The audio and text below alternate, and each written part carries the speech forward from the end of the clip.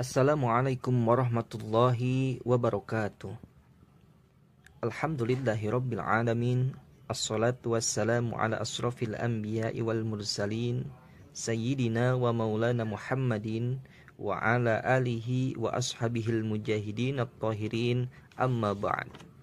Qala Allah Ta'ala fi kitabihil karim wa huwa asdaqul qailin a'udzu billahi as-sami'il alim minasy syaithanir rajim Bismillahirrahmanirrahim. Wa innaka la'ala khuluqin azim.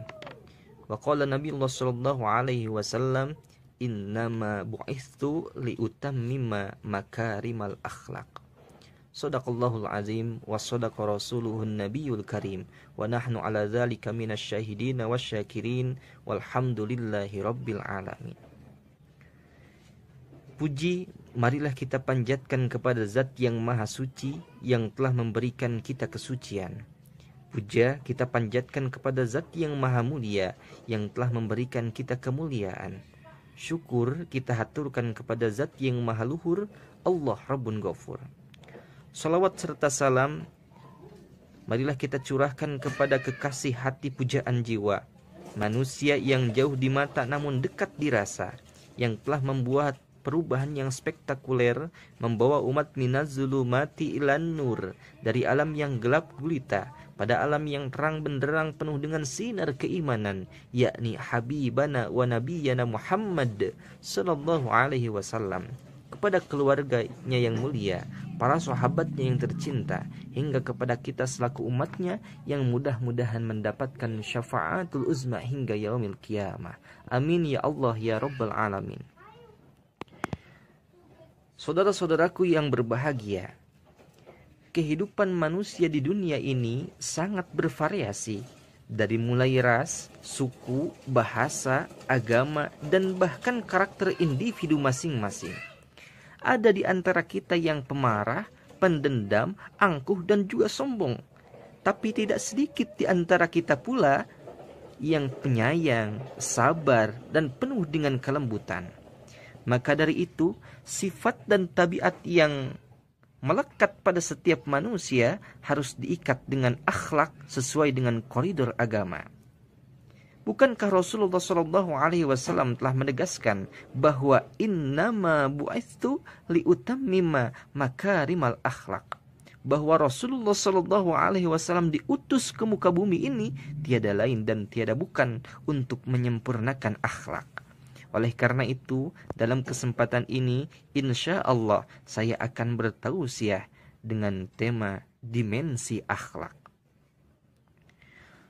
Saudara-saudaraku yang berbahagia, Rasulullah Shallallahu Alaihi Wasallam diutus ke muka bumi ini adalah untuk menyempurnakan akhlak manusia.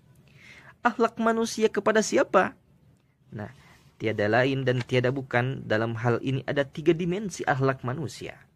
Yang pertama, akhlak manusia kepada Tuhan, kemudian akhlak manusia kepada sesama manusia, dan selanjutnya akhlak manusia kepada selain manusia, flora, fauna, tumbuhan, hewan, dan seluruh ekosistem alam.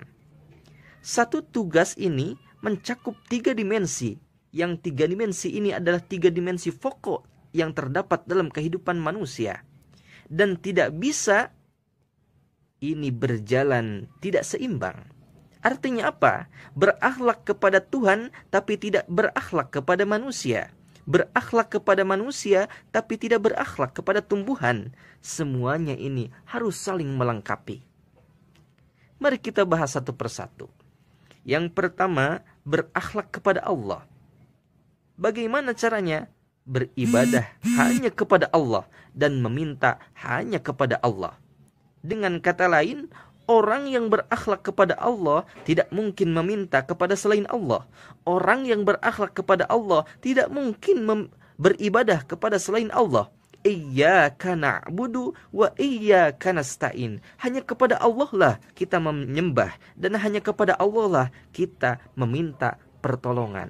Bukankah Roma Irama telah, telah melantunkan katakan Tuhan itu satu Tuhan tempat menyembah dan tempat meminta La ilaha illallah tiada Tuhan selain Allah. Nah, dengan demikian berakhlak kepada Allah kita sebagai hamba menghamba dengan totalitas kepada Allah dan kita pun sebagai hamba meminta hanya kepada Allah Subhanahu wa taala. Lalu yang kedua, berakhlak kepada sesama manusia.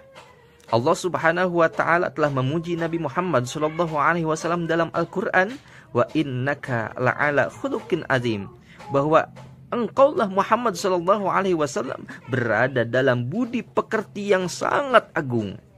Saking agungnya akhlak Nabi Muhammad Shallallahu Alaihi Wasallam, jangankan kita sebagai umatnya, musuh pun kagum dengan akhlak baginda Rasulullah Shallallahu Alaihi Wasallam. Maka dari itu kita sebagai umatnya harus meniru Nabi Muhammad Wasallam.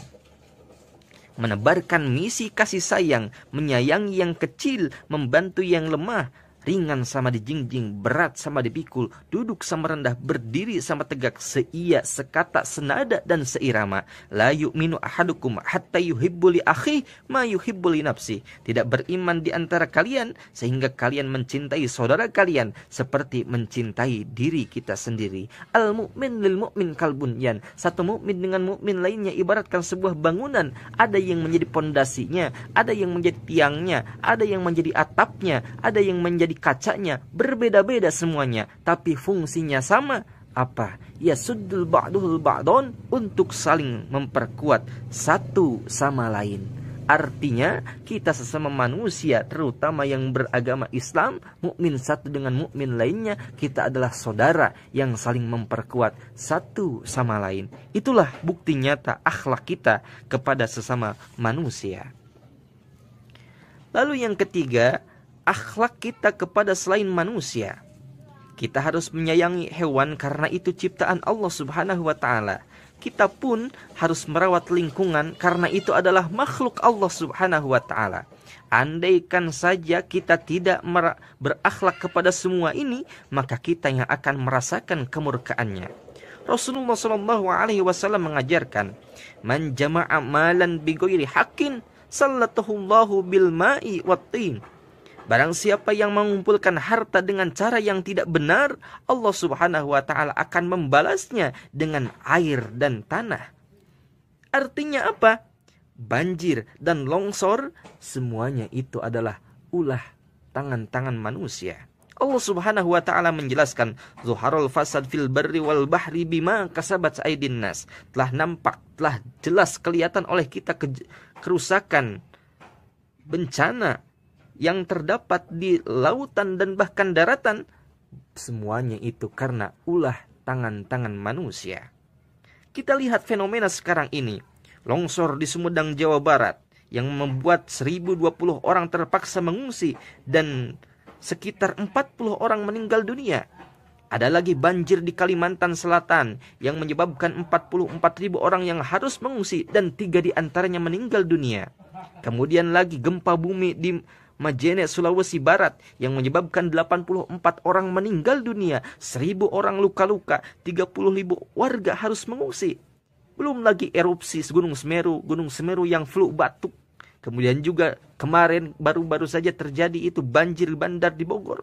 Banjir bandang di Bogor. Semua fenomena yang terjadi sekarang, bencana-bencana alam yang melanda kita semua ini bukti nyata bahwa kita manusia tidak mampu bersahabat dengan alam. Karena pada dasarnya kita manusia yang seenaknya menebang pohon sembarangan, yang seenaknya membuang sampah sembarangan, akhirnya alam pun berbicara, memberikan menampakkan kuasa Allah Subhanahu wa taala kepada kita semua. Maka mengapa pertanyaannya, mengapa di tanahku terjadi bencana? Mungkin Tuhan mulai bosan melihat tingkah kita yang selalu salah dan bangga dengan dosa-dosa. Atau Allah mulai enggan bersahabat dengan kita. Maka coba kita tanya pada rumput yang bergora, bergoyang. Saudara-saudaraku yang berbahagia, Masyarul muslimin wal muslimat di mana pun berada. Mulai dari sekarang, mari kita bermuhasabah. Perbaiki diri, hiasi diri dengan akhlak maka insya Allah tercipta tali kasih dengan Allah Subhanahu wa taala, tali cinta dengan sesama manusia, tali sayang dengan seluruh alam. Dengan bermodal akhlak ini kita gapai kita gapai tiga dimensi tersebut. Hubungan baik dengan Allah Subhanahu wa taala hubungan baik dengan sesama manusia dan bersahabat dengan alam flora fauna dan ekosistem lainnya. Amin. Ya Allah ya rabbal alamin Terima kasih atas segala perhatian. Mohon maaf atas segala kekurangan. Kalau Allah mengizinkan, insya Allah kita berjumpa lagi di lain kesempatan. Sekian dari saya, Dayat Indra Hidayat. Usikum wa nafsi bittaqwallah. Assalamualaikum warahmatullahi wabarakatuh.